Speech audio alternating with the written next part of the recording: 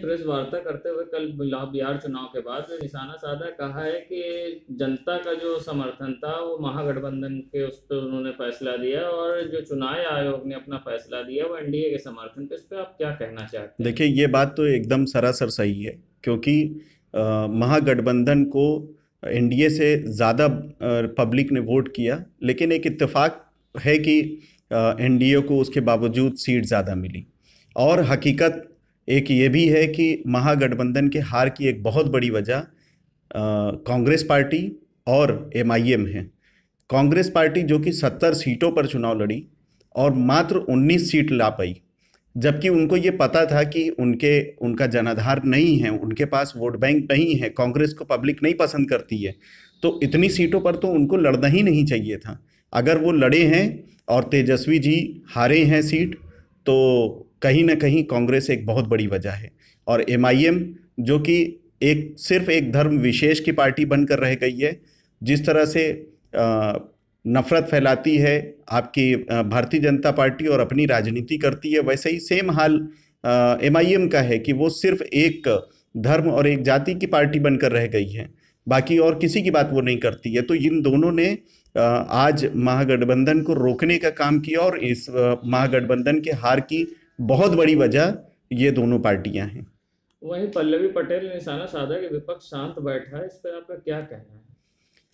आ, ये भी बात सही है कि विपक्ष शांत बैठा हुआ है और कुछ विपक्ष ऐसे भी हैं जो बिक गए हैं और मंत्री बनकर बैठे हुए हैं। हमारे सोनीलाल पटेल जी की एक सुपुत्री अनुप्रिया पटेल जी जो आज मंत्री हैं भारतीय जनता पार्टी में तो ये बात सही है कि कुछ लोग डर कर बीजेपी में शामिल हो गए हैं और सत्ता का सुख उठा रहे हैं और कुछ लोग डर कर नहीं बोल पा रहे हैं। जिनको बोलना चाहिए था और जो बोलने की कोशिश कर रहे हैं, उनको उनको दबाने का काम किया जा रहा है, विपक्ष को ख़त्म करने का काम किया जा रहा है।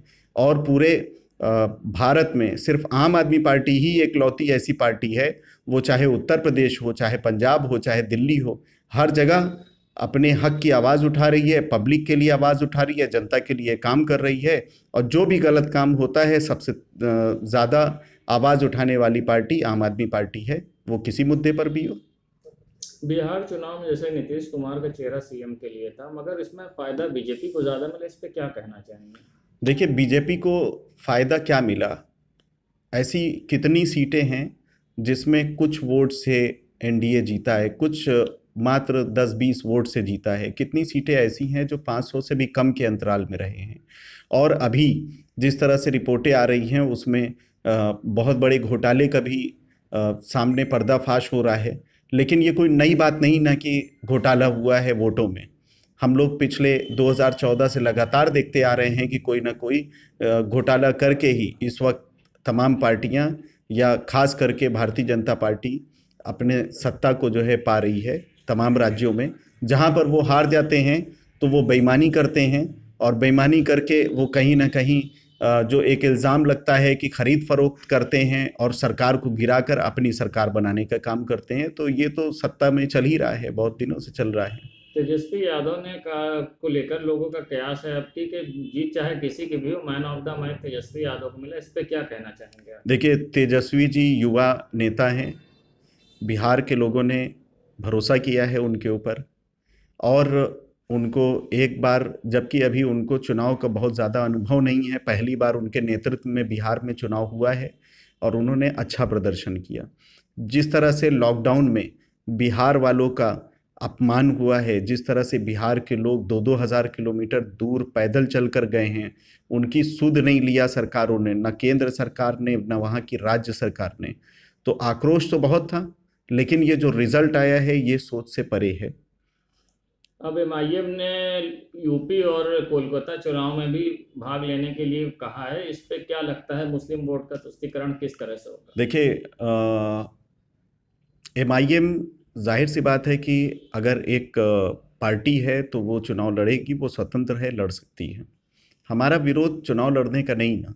हमारा विरोध जितने भी भारत में जाति और धर्म की राजनीति करने वाले लोग हैं, उसका है।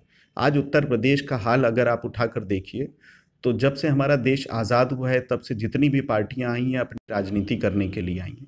उन्होंने तो खूब राजनीति किया और अपना, अपनी सत्ता चलाई, लेकिन आज भी उत्तर प्रदेश को गरीब प्रदेशों में गिना जाता है। ये जब जनता को समझ में आ जाएगा तो जनता खुद ब खुद जितनी भी जाति और धर्म की राजनीति करने वाली पार्टियाँ उखाड़ कर फेंक देगी। तो ठीक है, अगर जो है एमआईएम लड़ना चाहती है तो स्वागत है, उनको भी अधिकार है लड़ने का।